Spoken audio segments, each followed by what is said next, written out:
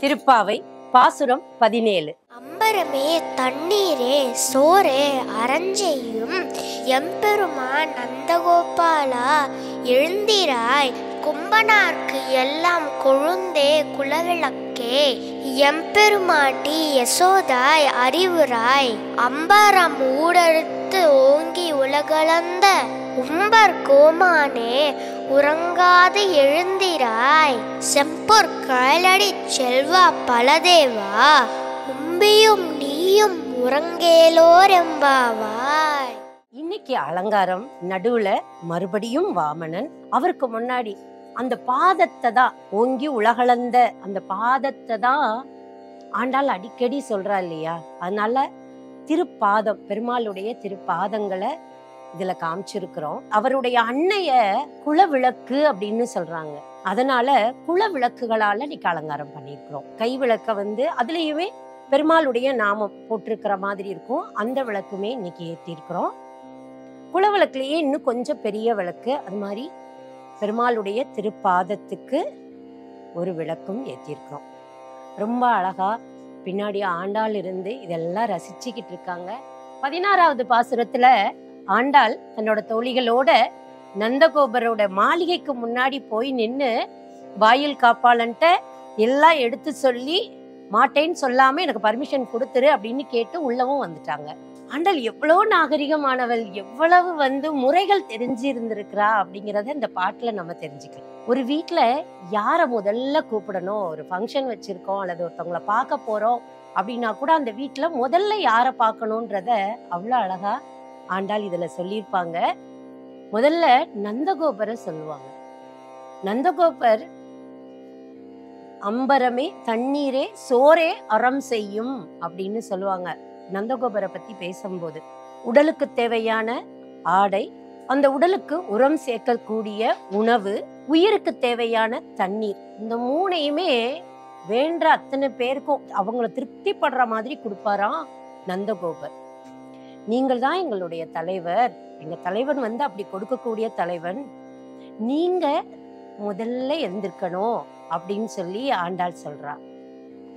அடுத்ததா வீட்டுல பெரியவங்களான கண்ணனுடைய அன்னை யசோதை கிட்ட வர்றா. யசோதைய கூப்பிடுறா. இந்த ஆயர் குலத்துக்கே தலைவி நீ அதுவும் எப்படி பெண்பட்ட பெண்களுக்கு நீ தலைவி அப்படின்னா இடை சிறுத்த பெண்களுக்கு அப்படின்றத இடை வந்து கொடி மாதிரி இருக்கக்கூடிய பெண்களுக்கு. அப்படின்னா என்ன அர்த்தம் அப்படின்னா பெண்கள் அந்த காலத்துல வளைஞ்சு நெறிஞ்சு எல்லா வேலையும் பார்த்திருக்காங்க. உடலையும் தன்னை அழகாவும் வச்சிருந்திருக்காங்க. அப்படி அழகா உடம்ப வச்சிருக்கக்கூடிய பெண்களுக்கெல்லாம் தலைவி நீ. அதுவும் ஒரு மங்களகரமான விளக்கு மாதிரி முகம் உனக்கு. அவ்வளவு மங்களகரமான யசோதை அன்னையே நீங்களும் எழுந்திருக்கணும் அப்படின்னு சொல்றா. அடுத்ததா கண்ணன் கிட்ட வர்றா.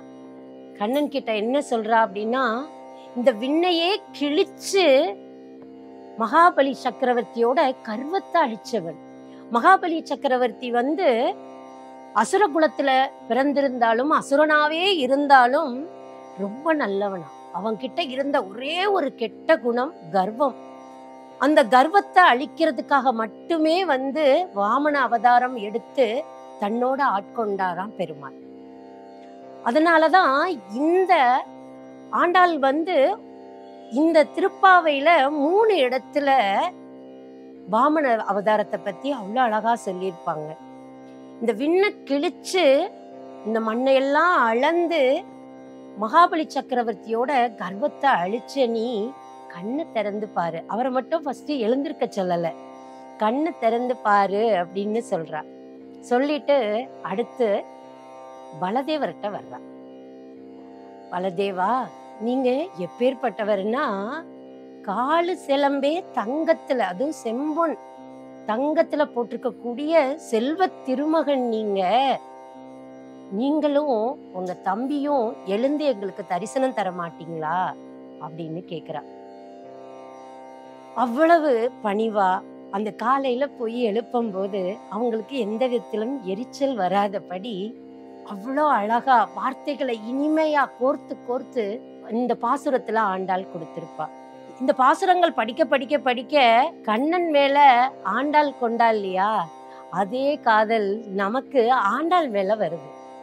எப்படியெல்லாம் உருகி இருக்கிறா? எப்படியெல்லாம் ரசிச்சிருக்கிறா? எவ்வளவு முறையா இருந்திருக்கிறா? இந்த நாகரிகத்தை நம்ம கத்துக்கிட்டாலே போதும். ஒவ்வொரு குடும்பத்திலையும் பிரச்சனை வராது. இதெல்லாம் பண்ணுனாதானா? அப்படின்னு நம்ம எதிர்த்து எல்லாரும் இந்த முறைகள் எல்லாம் மாத்தி நம்ம வாழ்க்கை நம்ம பார்த்துக்கலாம். ஏன் இவங்க ஏன் அவங்க அப்படின்னு எல்லாம் யோசிச்சு யோசிச்சு தான் இப்ப குடும்பத்துக்குள்ள எல்லாம் பிரச்சனைகள் வருது. ஆனா வாழக்கூடிய வழிமுறையை சொல்லி கொடுக்கறது தான் நம்மளுடைய இந்து தர்மம். இந்து தர்மத்துல இந்த ஆண்டாள் பாசுரம் மட்டும் இல்ல எல்லா திருக்குறள்ல இருந்து நம்மளுடைய தேவாரம் திருவாசகம் அது மாதிரி பெருமாளுடைய நாலாயிர திவ்ய பிரபந்தங்கள்லையும் கூட இந்த இறைநிலையை சொல்லும் போதே நம்ம எப்படி வாழணும்ன்றதையும் கத்துக்கணும். வெறுமனே அது சாமிகளுக்கு சொல்லியிருக்காங்க அப்படின்னு நினைக்காம நம்மளுடைய வாழ்க்கைக்கும் அது எந்த அளவுக்கெல்லாம் எடுத்துக்கலாம் அப்படின்றத வந்து நம்ம பார்த்துக்கலாம். கல்யாணம் ஆனவங்களுக்கு எல்லாம் ஒரு டவுட் இந்த திருப்பாசுரம் படிச்சா என்ன கிடைக்கும்? கல்யாணம் ஆகிறதுக்காக தானே இந்த திருப்பாவை எல்லாம் பாடுறாங்க அப்படின்னு வேற கேக்குறாங்க. திருப்பாவை கல்யாணம் ஆகாத பெண்களுக்கு நல்ல கணவன் கிடைக்கவும் கல்யாணம் ஆனவங்களுக்கு தன் மனசுப்படி கணவன் மாறி இவங்க கூடயும் நல்லா இணக்கமா வாழணுன்றதுக்காகவும் இந்த திருப்பாவை படிக்கலாம். மீண்டும் நாளை காலை பாசுரம் பதினெட்டோடு உங்களை சந்திக்கிறேன். நன்றி வணக்கம்.